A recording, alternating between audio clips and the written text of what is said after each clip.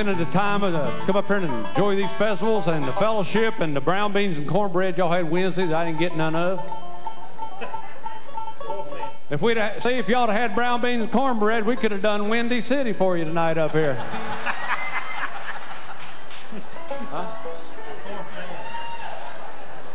And people going ooh, ooh again down there. You hear that? Huh?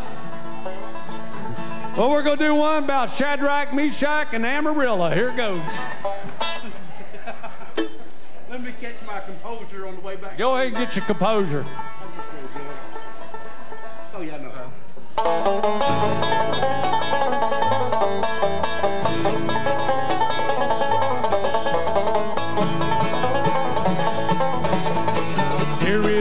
Story from the good book we know, a story about a miracle that happened long ago. We hope that you'll take courage with temptation you'll meet. There's somebody watching you, strong when you're weak. They held them to the will of God, as we are told. They wouldn't bow the knees to the idols made of gold. They were protected by the fourth man in the fire. They wouldn't bend, they wouldn't bow, they wouldn't three men who walked with God. Shadrach, Meshach, Abednego, before the wicked king they stood. And the king commanded them, bound and thrown in the fiery furnace that day. The fire was so hot the men were slain who forced them on their way. They held on to the will of God, we are told. They wouldn't bow the knee to the idols made of gold. They were protected by the fourth man in the fire. They wouldn't bend, they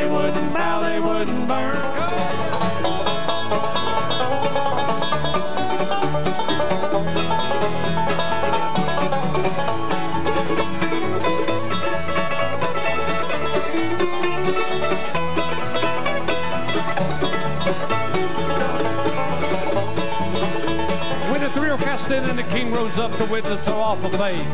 He began to tremble at what he saw, and in astonished tones he spake. Did I not cast three men bound into the midst of that fire?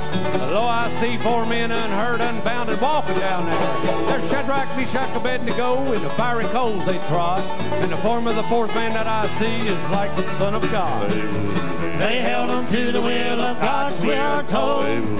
They wouldn't bow the knees to the idols made of gold. They were protected by the fourth man in the fire. They wouldn't bend, they wouldn't bow, they wouldn't burn.